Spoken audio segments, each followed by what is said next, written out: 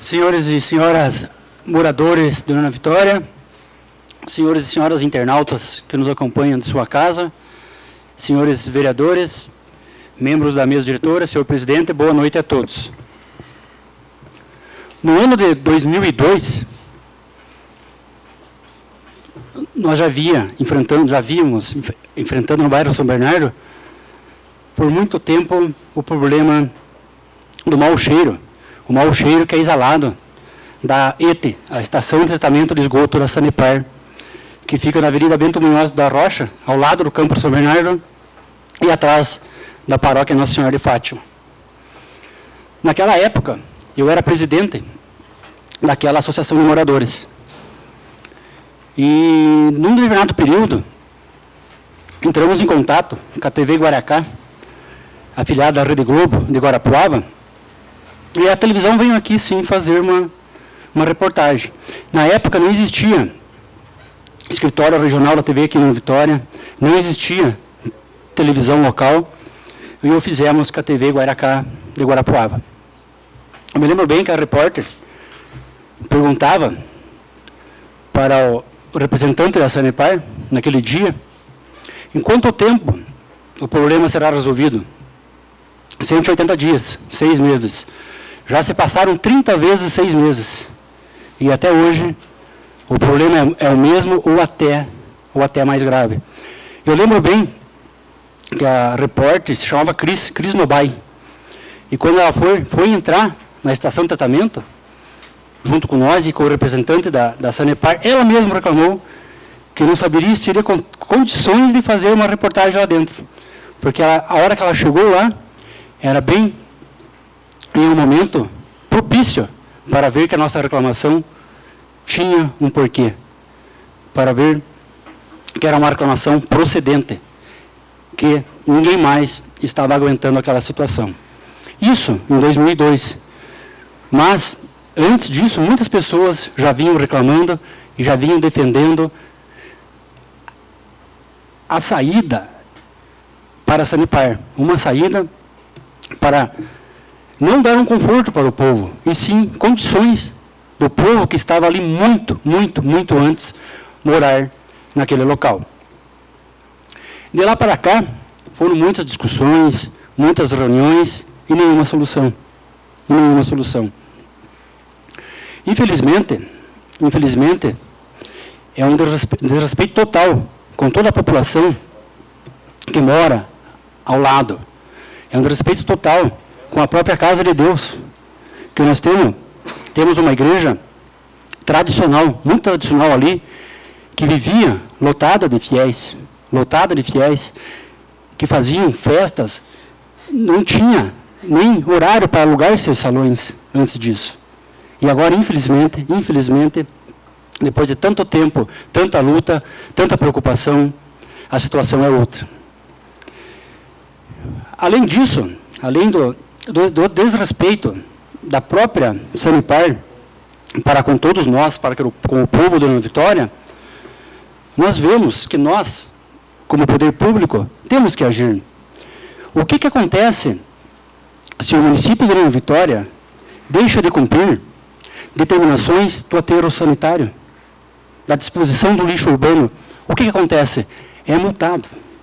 É multado pelo Instituto Ambiental do Paraná. E o que está acontecendo nesse caso? Que todos que passam por lá, todos que moram por ali, todos que frequentam a igreja, percebem o problema, percebem o mau cheiro. Por quê? Por que, que os órgãos, tanto os órgãos ambientais, e aqui também, Cabe para nós, como município de Nova Vitória, a questão ambiental. Nós temos um setor de vigilância sanitária que também pode usar o poder de polícia e verificar tal situação. Ainda mais, agora nós temos a Secretaria Municipal do Meio Ambiente. Secretaria Municipal do Meio Ambiente, que também é responsável por esse tipo de fiscalização. O que mais? Nós vemos alguns municípios, como Maringá, por exemplo, que o município de Maringá, através da Secretaria Municipal do Meio Ambiente, lavou uma multa milionária contra a Sanepar, por um problema parecido no município de Maringá. Nós temos poder de polícia para isso. Temos que arrumar alguma coisa quanto a legislação do poder de polícia? Sim. Pode ser que tenhamos que arrumar alguma situação, mas não pode ficar de jeito nenhum. Nós temos que tomar ações concretas. Ontem, por exemplo, eu estava na igreja, às 17 horas, teve uma missa, uma missa para diversos casais do encontro do ICC. E lá estavam três vereadores, três vereadores da Casa de Leis, e viram o problema. Estava eu, estava o vereador Altair e o vereador, o vereador Carlos, Carlos Bueno. Além do filho do vereador Carito. O Cleberson estava lá também, nesse encontro, e todos nós percebemos o problema. E foi a primeira missa, acho que a primeira missa, rezada pelo, pelo bispo diocesano Dona Vitória, pois não, vereador Altair? Uma parte só. Inclusive, o próprio vereador Mário também participou da missa no, de manhã, e realmente estava situação lamentável que estão, olha o vereador Daniel e, e, outros vereadores que estão aqui presentes hoje, e munícipes todos aqui, é lamentável o, o mau cheiro que, que aquele pessoal mesmo, não só da igreja, como todos os moradores, vem há anos já sofrendo com esse um mal-estar realmente, você não, não consegue acompanhar a missa. Eu admiro os moradores.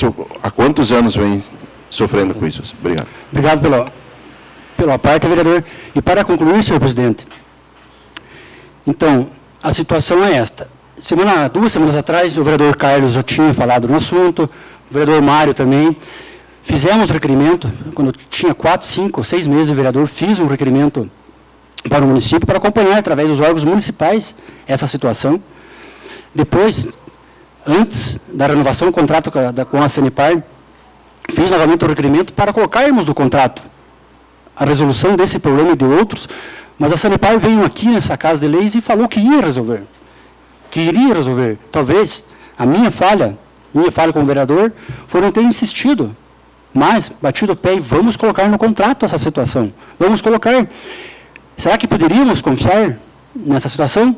Eu acho que não, porque até hoje já faz quanto tempo nós estamos com o contrato renovado. Já estamos com problema desde 1992, 1993 e não foi resolvido. Ano passado, em agosto, setembro, estava o mesmo problema. De forma paliativa, forma paliativa, fizeram uma construção, já não tem mais, já estão abertas novamente, já estão abertas novamente as tampas, as tampas dos tanques. E isso, além de tudo, é um vetor. É um vetor de criação de mosquito da dengue, é um vetor de criação de ratos e de outros de outros animais peçonhentos, de outros vetores que podem passar doenças para todos nós. Então nós precisamos sim, como poder público, como poder público, tomar a responsabilidade e fiscalizar a companhia, a Sanepar, no estado do Paraná, e principalmente ali, que todos nós vemos que não está certo. Agora precisamos de uma opinião técnica, opinião técnica, para ver se está certo, se está errado. Precisamos do meio ambiente, nos dizer, não, não tem problema nenhum. Precisamos de médicos nos falar, não, não tem problema nenhum. Mas não temos essas opiniões. Não temos. A fiscalização, multas. Me falaram que o IAP multou sim a Sanepar lá. Em 2002, 2003, 2004, não acompanhei mais esse processo, se tais multas foram pagas, mas não adiantou. Não adiantou. Se foram, se foram pagas tais, tais multas, deviam ser revertidas para o controle, para o controle e resolução deste problema que agora, infelizmente, estão esgotadas.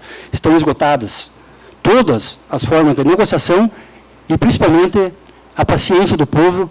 E digamos, o povo foi heróico, porque aguentar aquilo por tantos, tantos e tão, tantos anos sem resolução, eu chamo uma de parte, heroísmo. Uma parte, senhor vereador. Pois não, vereador Castilho.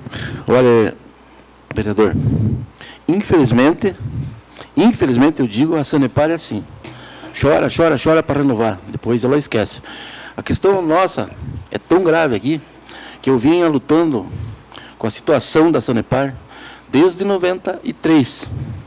E se você for ver esse problema do São Bernardo, que é grave, mas se for ver o Bento Munhoz, que não tem até hoje tratamento nenhum, o, o, o esgoto é jogado a, céu aberto. Eu entrei na justiça, a Justiça do Paraná, por mando o governador Roberto Roquinho me derrubou, que era para pagar, indenizar todos os moradores que estão pagando esse, é, o, o, esgoto sanitário. Estão pagando E até hoje não tem tratamento. Quer dizer, o governo pode, tudo pode.